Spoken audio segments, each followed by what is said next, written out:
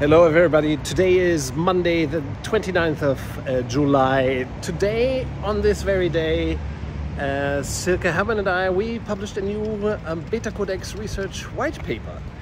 And uh, in this little clip, I want to tell you a little bit about that. Uh, this white paper, it's called Open Space Beta Patterns. What is it about, you might ask? Here is the story. All this started in 2018 when Silke and I published a new approach to organizational transformation called Open Space Beta. Uh, we published um, a handbook about the Open Space Beta approach at the time. Uh, we started qualifying people in this approach. We published this approach under an open source license. And uh, immediately we got involved in client work around Open Space Beta as well. So in early 2019, we did the first real world transformation with the Open Space Beta approach. It worked beautifully. And since then, all our transformation work with Open Space Beta worked beautifully. Um, and of course, over the course of these transformations, which always take 90 days or let's say half a year all in all, we learned a lot about the reality of uh, these, this approach and about the reality of, let's say, patterns that emerge in such kind of uh, transformation. And um, last year, 2023, we wondered, okay, now is the time to um, kind of synthesize the learnings, some of the learnings that we had uh, in publications. We started to write a thing that's called the Open Space Beta Commentary.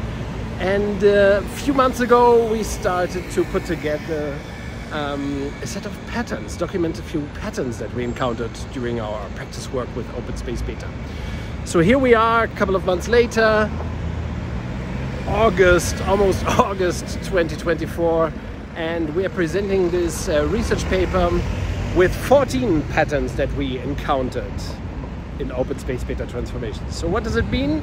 It means that now beyond the book, beyond the open space beta handbook, the conceptual stuff, the theory, the practical concepts, we now also are starting to share, you know, insights, interesting insights, patterns that will emerge during your work as well if you work with this kind of transformation approach. And uh, yeah, I think this um, paper you will find it extremely readable. You will find it delightful, hopefully well designed and illustrated. It presents 14 uh, very important patterns of open space beta transformation. Uh, I hope you uh, will enjoy the paper. I hope you will read it maybe you have waited for this kind of stuff uh, anxiously, let us know. Yeah, share your your learnings, your findings from the paper with us. Uh, share what you think about the paper. Silke and I am looking forward to your feedback. See you very soon. First read the paper and then maybe attend our conversation session on Wednesday when we will discuss the paper during Beta Codex, Beta Codex Live, a session with Ryan Erickson. See you very soon.